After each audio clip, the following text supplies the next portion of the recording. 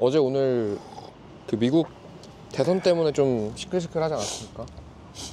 그 트럼프 대통령이 승리 선언 하러 딱 나왔을 때 그때 데이나 화이트 UFC 대표 같이 같이 나온 거 보셨습니까?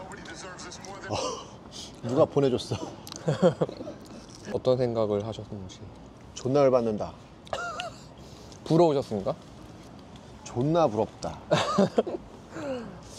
무슨 여당, 야당 뭐 이런 거, 민주당, 공화당 이런 거 떠나서 저렇게 자유롭게 지지할 수 있고 하나의 스포츠를 완벽히 대통령이 지지해주면 저 사업은 어떻게 되겠어?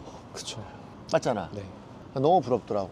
이 코딱지만한 동네에서 원주에서 예산 매덕 받아가지고 내 개인 자금 돈 더 투입해서 이 지자체에 도움이 좀 될까 하고선에 시합을 개최하는데 공격하고 돈을 뭐 몇십만 원, 몇백만 원 삥땅 쳤다고 아니 몇백만 원 삥땅을 칠 거면 내가 거기다 돈을 매덕을 내 돈을 왜 집어넣냐고 이, 이런 말 같지도 않은 이런 나라하고 저렇게 한 정치인을 갖다가 대통령을 지지하고 그냥 대통령이 지지하는 스포츠가 되는 게 나는 너무 부럽더라고.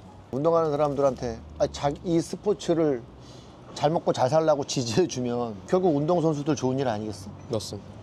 참. 너무 부럽더라고. 야, 저- 저게 가능해? 이런 생각이 들더라고. 심 놔두고만 그냥. 네. 전 지구의 대통령 아니야? 미국 대통령이 사실상. 그쵸. 대장이죠. 그 옆에 나와가지고 야 너 인사말 한 번 해. 그래서 야씨, 넌 트럼프 만세, UFC 만세 이러고 있는데. 아 이게 이게 말이 되는 상황인가? 현실적으로 이, 런게 있더라고. 씁쓸하다.